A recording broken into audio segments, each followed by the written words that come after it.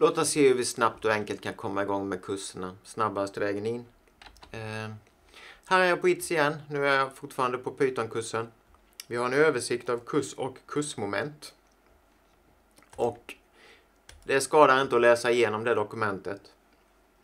Det, det ger dig en översikt vad hela kursen handlar om, vad det går ut på. Lite, lite mål, ordning och reda och sånt där runt omkring det. När du har gjort det så är det lika bra att du sätter igång. Kursens första kursmoment, det finns en instruktion och det finns en redovisning. Och eh, Sätt igång med in, instruktionen till kursmoment 1. Den ger dig en introduktion vad kursmomentet handlar om. Den ger dig eh, läsanvisningar som du bör kolla igenom och läsa. Eh, det kan, bland de här läsanvisningarna kan det även finnas videos som du kan titta på. Sen handlar det om övningar och uppgifter. Eh, ja, I detta första kursmomentet så ska du också installera en eh, labbmiljö. Men när du har gjort det så finns det övningar. Övningar är till för att förbereda dig för uppgifterna. Uppgifterna ska du lösa.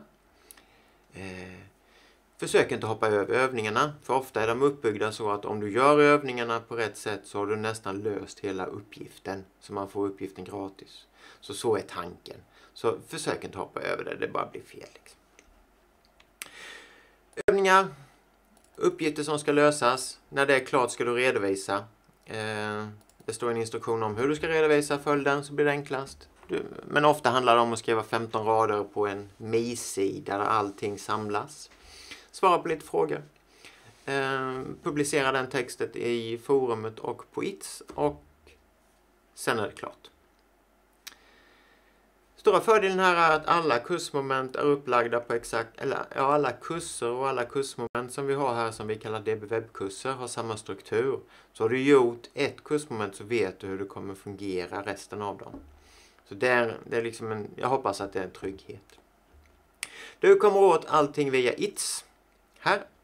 Och eh, du kommer också åt allting via webbplatsen direkt. Direkt under kurser. Där är den eh, översikten och där är instruktionen till kursmoment 1. Så eh, ja, egentligen, du behöver börja jobba. Kursmoment 1 är en rätt så bra start och eh, kör igång så tar vi det därifrån.